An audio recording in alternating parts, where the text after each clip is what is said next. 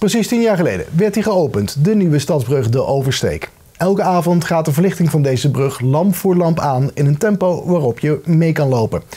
Dit wordt dan ook al sinds de opening iedere avond gedaan. De Sunset March heet dat. Ter gelegenheid van het jubileum liet donderdagavond ook burgemeester Bruls mee over de brug. Samen met wethouders van Elveren, Broeren en Vissen.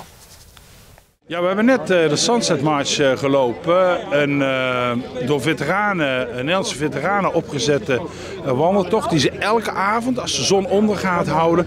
Ter herinnering de 48 Amerikaanse soldaten die betrokken waren bij de, de oversteek op 20 september 44. Het begin van de bevrijding van Nijmegen. En ja, het is echt heel mooi dat het hier plaatsvindt. En vandaag is heel bijzonder, want dit is precies 10 jaar nadat de brug in november 2013 in gebruik is genomen. Dus een hele speciale Sunset March.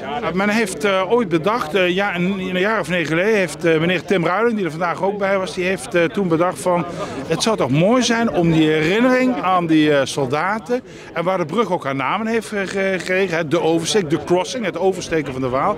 Als we dat wat meer nog kunnen doen dan alleen maar die brug en die lampen die uitgaan. En hij heeft zich laten inspireren van hey, die lampen gaan aan op wandeltempo. Als we nu elke avond bij zonsondergang uh, gaan overlopen, hebben we een blijvende renning. En hij is gewoon begonnen met een paar mensen en ze zijn blijven wandelen. En elke keer wat andere gasten. Vandaag met deze groep mensen hè, die betrokken zijn geweest met ontwerpen en nadenken over de brug. Maar komen ook vaak militairen uit de Verenigde Staten of uh, groepen mensen elders uit het land.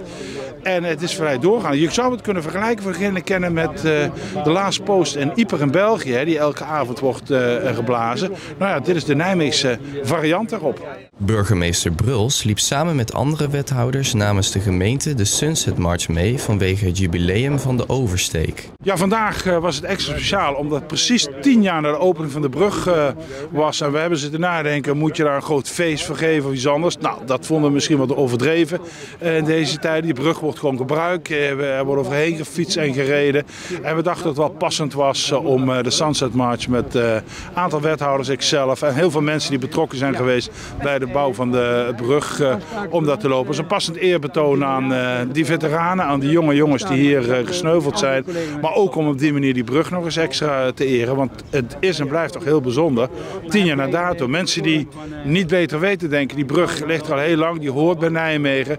Maar ik hoor bij degene heel veel anderen nog weten hoe die brug er niet was. En dit is echt een geweldige toevoeging. En zeg nou eerlijk, het is toch ook een wonder van de brug. Hij ziet er ook nog mooi uit.